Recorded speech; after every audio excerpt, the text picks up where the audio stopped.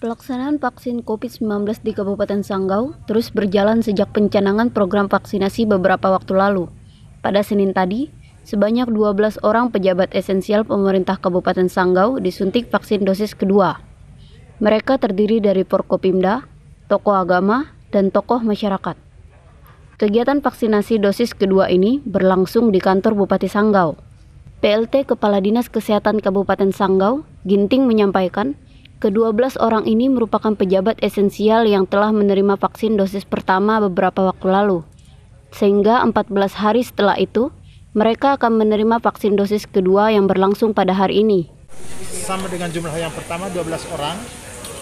12 orang, eh, 12-nya datang nih semuanya kita eh, vaksinasi yaitu pejabat esensial ya, tokoh agama, tokoh masyarakat, Forkompimda, eh, 12-nya itu divaksinasi ditambah. Nah, ditambah dengan pejabat esensial yang tertunda pada saat yang pertama. Saat ini tadi kita cek lagi atau perwakilan daripada organisasi itu. Ginting menambahkan di waktu dan tempat yang sama selain 12 orang pejabat esensial yang menerima vaksin dosis kedua tersebut ada pula 8 orang pejabat esensial lainnya yang disuntik vaksin tahap pertama karena vaksinasi mereka yang tertunda. Dari Kabupaten Sanggau, Theodardus Pontipi memberitakan.